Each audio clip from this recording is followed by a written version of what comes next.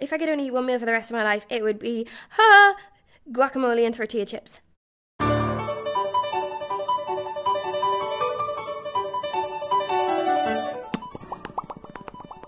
Uh, there's a Korean dish called bibimbap.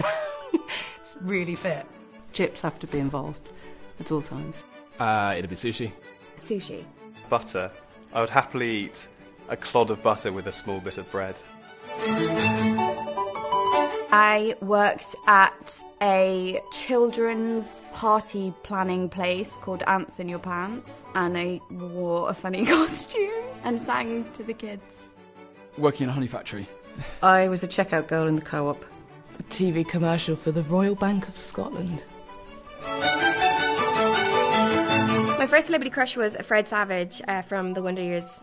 Prince Eric. Uh, Jessica Rabbit. She's out of my league. Definitely dogs. Cats. Cats. Oh no, I'm allergic to cats. So dogs. Oh, something by Roberta Flack. Feeling good. All the boys would know that. Mm, Born to Run by Bruce Springsteen. Lady Marmalade. Different song, but that one. I tidy too much. I, if I say something and I feel a bit awkward, I go,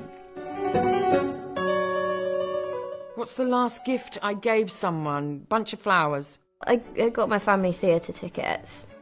I gave Phoebe an origami horse yesterday. Thanks to this show, because they sent me for um, drawing classes, was a portrait of my two nieces.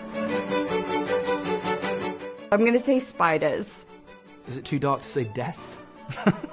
Probably. Tomatoes. 1920s for the style.